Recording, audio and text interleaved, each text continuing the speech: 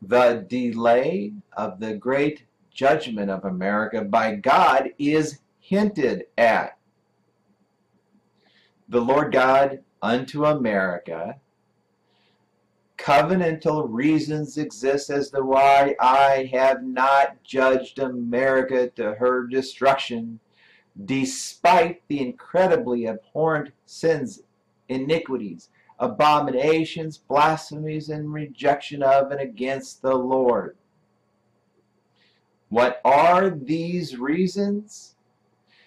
Two saving graces are certainly part of such although only elements of something much bigger and significant than just those saving graces.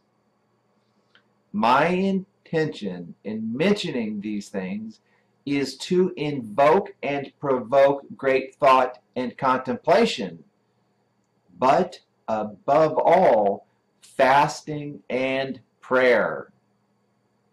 End of message. Thusly says the Almighty Lord God has spoken and written this day, date and time of Wednesday, the 22nd of April, 2020 at 1.58 p.m. American Eastern Daylight Time, Tampa Bay, Florida, the United States of America, the place where my God, the holy name is meticulously and awesomely engraved. Published for Sunday, the 29th of November, 2020.